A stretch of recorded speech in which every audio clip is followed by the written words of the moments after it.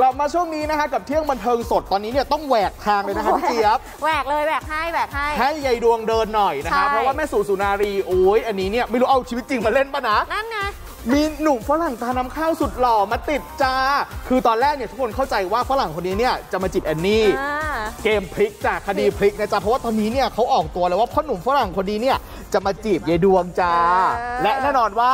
พอมีผู้ชายแล้วเป็นยังไง เปลี่ยน lookเปลี่ยนแปลงตัวเอง ผมหน้าม้ามาเฉยนะฮะ แล้วก็ใส่ชุดเดรสแบบดูสดใส เตรียมไปออกเดทกับบักปีเตอร์จ้ะเออเอองานนี้นะคะ ลูกๆหลานๆก็โอ้โห กัน scene ขัดขวางกันสุดฤทธิ์เลย แต่ทีม support ก็มีเยอะ ฉากนี้นะคะ ก็จะได้เห็นแม่สู่สุนารีของเราเนี่ยเปลี่ยนไปนะคะ สาวขึ้นสวยขึ้น อย่างที่บอกแม่ถึงขนาดแซวผู้กำกับกับคนเขียนบทเลยเนาะอุ๊ย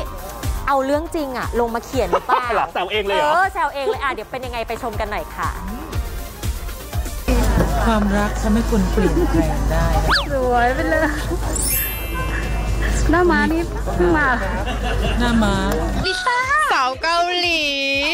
ก็วันนี้ต้องแอปเด็กนิดนึงเพราะว่าออกเดทกับหนุ่มๆมันต้องเปลี่ยนแปลงตัวเปลี่เอยนงลุคไงทุกทีเปลี่ยนผ้าถุงใช่ไหมแม่ใช่นุ่งนุ่งซีนแล้วก็เสื้อลูกไม้อะไรเงี้ยแต่วันนี้ก็ดูแบบ นิดนึงอะไรอย่างเงี้ยออกเดทค่ะการเนี่ยโดยเฉพาะคือการเพราะความห่วง แต่ทั้งนี้เขาจริง ๆเขาก็เขาห่วงแหละแต่เขาก็อยากให้แม่มีความสุขอยากให้แม่มีความได้สุขคือห่วงห่วงห่วงห่วงผู้ชายห่วงผู้ชายห่วงผู้ชายสงสารเขาสงสารเขาต้องมาเจอคนอย่างแม่ไม่ใช่เป็นห่วงเพราะว่าแม่คนเดียวแล้วไงก็ยังงงๆอยู่ว่าเอ๊ะมันคล้ายๆชีวิตจริงคุณแม่เนี่ยก็ฝากติดตามด้วยนะคะ โดยเฉพาะพาร์ทที่แบบว่ายายดวงแบบ in love แต่มันก็จะมีมุมน่ารักน่ารักแล้วก็มุมที่แบบว่า